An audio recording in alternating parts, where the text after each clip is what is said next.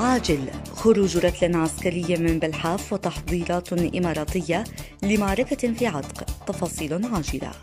للمزيد من الأخبار لا تنسوا الإعجاب بالفيديو والاشتراك بالقناة. كشف القيادي الجنوبي ورئيس منتدى السلام ووقف الحرب في اليمن عادل الحسني.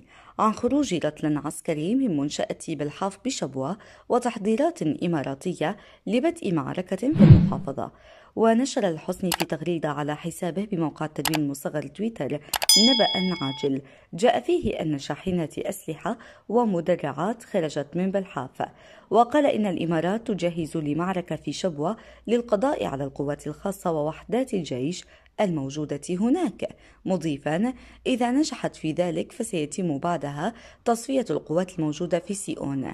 يأتي ذلك بعد وقت قصير من إعلان صدور قرار لمحافظ محافظة شبوة البرلمان المؤتمر عوض بن الوزير العولقي السبت.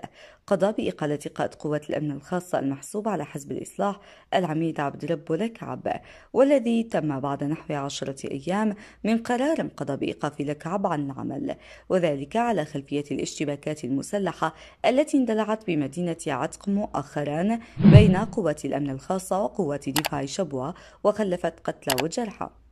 سبق ذلك أن اتهم العولقي القوات الخاصة الموالية لحزب الإصلاح بتنفيذ عمليات استفزازية قائلا بعد تنفيذ حملة منع السلاح في المحافظة شهدت المحافظة استقرارا أمني. وبعد إدخال قوات دفاع شبوة لم يرق ذلك للقوات الخاصة وقامت بعمليات استفزازية.